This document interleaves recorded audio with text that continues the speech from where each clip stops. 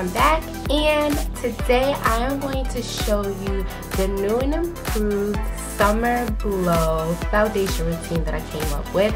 Um, I'm not going to really do an extensive eye look probably not going to do an eye look at all to be honest um, but I'm literally going to take you step by step I am bare face I haven't even moisturized my face yet I'm literally just coming from washing it and I'm going to take you step by step to my finished product. Um, I may skip over a couple steps, but nothing that has to do with my face. So, let's get started. Okay guys, so I'm going to start out with this facial spray. It has aloe um, and rose water. I'm to spray it all over my face and pat it in to add some moisture to my face. Then I'm going to go in with a combination of two primers and the Benefit Sunbeam. Um, I am not tan right now, so this adds a little tan and it also helps to control the oils in my face. So I'm going to use a foundation brush and just get that all over, especially in my T-zone, to try to reduce as much oil buildup as possible. Making sure I get my eyelids and everything in between. So after I'm done applying my primers, I'm going to go in with the Kat Von D Lock It Foundation and my foundation brush. I'm going to apply this everywhere. I will be honest with you all. I wish I used a darker shade because um, this is my winter winter foundation and I'm a little darker than um, this one here. I might actually have to get rid of it altogether. But at the end of the day, the look came out um, pretty well. So I don't recommend using a lighter foundation, but I will admit to my flaws, and that is one of those in this video. Um, so now I'm gonna go in with my MAC Mineralized Pressed Powder Foundation um, and a big foundation brush. This is just to set my found liquid foundation um, and just to give me an even tone.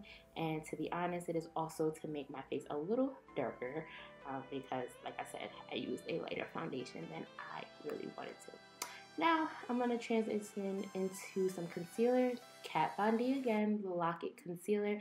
Um, this concealer is the concealer I use all the time. It is um, light, but is just the way I like it. Um, I'm going to go in with a beauty blender and I'm going to start to blend out the outside of each section first. As you see, um, I'll try to blend out each section individually and then I'll go more into the inner parts of each section.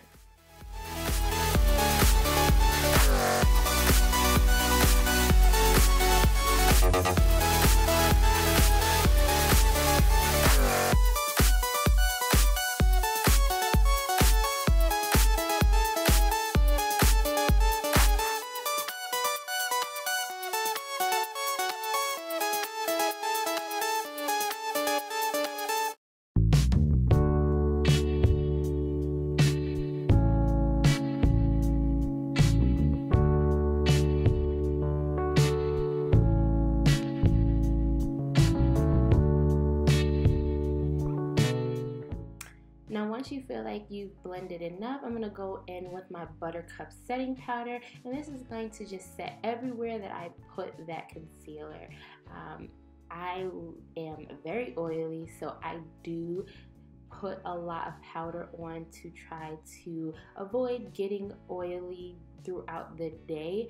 Um, I wore this look for about eight hours um, and I pretty much only got a little oily towards the end of the day on my nose. So this technique does really work for me. And yes, I do put some powder on my eyebrows because that gets oily too. So that was not a mistake at all. So I try to do one over each section and then I go over it again one time.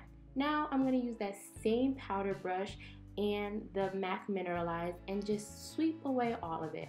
I don't bake, but I do try to use a lot of powder to avoid um, oils. I don't bake because I feel like it makes me look cakey um, and I don't like that look. I don't find baking necessary, but to each his own. So that is all up to you.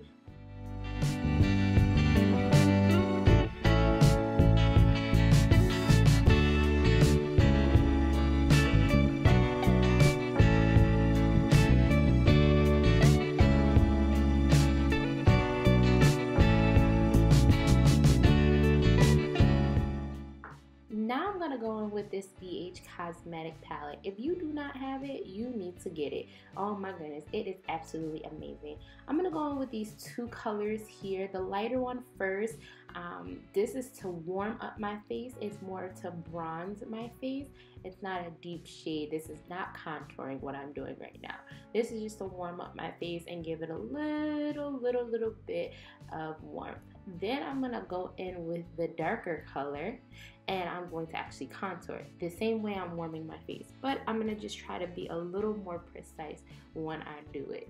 So I'm warming my face in the area of my contour and then I'm going to go in with the darker shade and be more precise. So I'm going to get right under my jawbone when I use the darker shade and as close to my hairline as possible when I use the darker shade. It gives you more of an ombre effect um, and it's not very distinct between your highlight and your contour. Especially those who are having issues with blending and stuff like that, this is a great technique to use um, and so you will get more of a faded look and not that clear cut line between your highlight and contour. Alright, onto my nose. I am going to start out with the lighter color like I used before um, on the outside of my nose. Um, this part I don't have to be as precise, but I'm going to use the same brush with both colors. This you'll start to see um, the contour, the look of my nose, it starts to get a little smaller.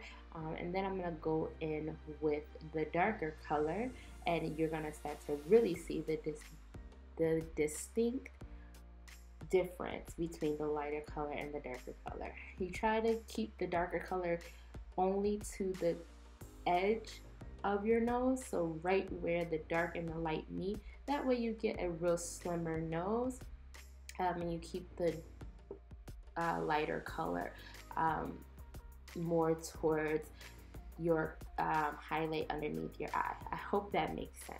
Now I'm going in just to brush it up. It blurs out the line just a little bit. I'm gonna add a little more highlight underneath my nose to kind of slim my nose out a little bit more. And then I'm gonna brush that away and voila, there's my nose contour. Now, this next product, if you don't have it, you need to find it because this is the highlight of the gods. Yes, the Wet n Wild highlighter powder. OMG, it is bomb.com. Like I said, if you don't got it, you need to go and find it. yes, I was so amazed. This is actually my second time or third time using it and are you ready? Are you ready? Because this is this is this is Oh my god. Oh my god. Oh. Oh MJ. Oh MJ. I can't. I can't. All right. I'm done. I'm done. so next I'm going to use the Airspun um, translucent powder. I'm just using this to cut my um, contour underneath just to kind of make it a little more sharp. I don't want it too too sharp but I'm just going to put a little bit on and I'm going to brush it right away. Like I said, don't like to bake so we're going to brush it right away. There it is. That contour is looking real sharp, girl. Next, this is another must-have from BH Cosmetic. It's their Glamorous Blush Palette. You have such a wide range of blushes here. I'm going to use a combination of two. Um, because it is summer, I can go more of a pink look, but just be careful with these. These are very, very pigmented. I actually use them sometimes with eyeshadows. That's how pigmented they are. Um, but they are bomb.com. And if you are an aspiring makeup artist, this is something that you definitely want in your palette, in your kit, because it will get you very far. Now for my eyebrows, I'm going to use the NYX Micro Brow Pencil. This one is really nice for that natural look. If you know me, you know that my eyebrows are very thin and I usually try to draw them on to the dots. But today we're going to keep it as natural as possible because I'm not doing a lot eye look at all. So we're going to use this in the dark brown, I believe it is. Um, the black is too black for me and the one underneath it is um, too light. So this one is just perfect. Um, it looks very natural and very simple. Brushing the product through and keeping it plain simple. Now I'm going to go in with a tapered brush and the same foundation I used earlier. I'm not going to use concealer because like I said, we want to keep it natural. We're just going to clean up underneath the eyebrows and blend down. You want to blend down as much as possible so that you don't get a distinct concealer look or halo eyebrow underneath your eyebrow. I'm only going to touch up underneath my eyebrow. Like I said, we want to keep it natural. So the bushy look on the top makes it more natural than not. Now I'm going to go on with that same highlighter and just highlight underneath my brow bone. I don't have much of a brow bone. Yeah, I have really weird eyes. but this kind of gives the illusion that I have a little bit of something. So I'm going to use a little bit of that underneath my brow bone and in the inner corner of my eye. So no eye look, but I am going to give my eye just a little bit of a pop for that summertime glow. Okay, ladies? Now I'm going to go in with a little bit of mascara, making sure I get those bottom lashes the most because I am going to put some falsies on.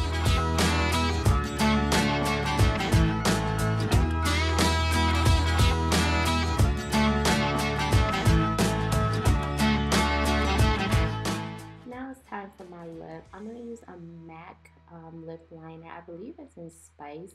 Um, don't quote me on that. I'm to look it up later and ensure to put it in the description box. So I'm just lining my lips. I do overline my top lip just a little bit because my bottom lip is significantly bigger than my top lip. I'm to go in with the lipstick Teddy to now give myself a little pop of color. And on top, I'm to put a, lip gloss on. Sorry, I am like tripping over my words. Like I said, I'm human, guys, and I try not to cover up that fact. So I'm gonna just leave it in this video. Anyways, moving on. Um, I'm pretty much done with this look. You see I am glowing, I am matte at the same time, and like I said, I wore this look for eight hours and I barely got oily. So I hope you enjoyed. I really, really love this look. Um, and woo, girl, yes, yes, yes, yes. Um, guys, please don't forget to like this video and please subscribe to my page. I have so much great things coming your way this summer and like I said, I hope you enjoy it. Make sure you comment below and I will answer any questions that you have. So, so long for now and I hope to see you guys really soon. Bye.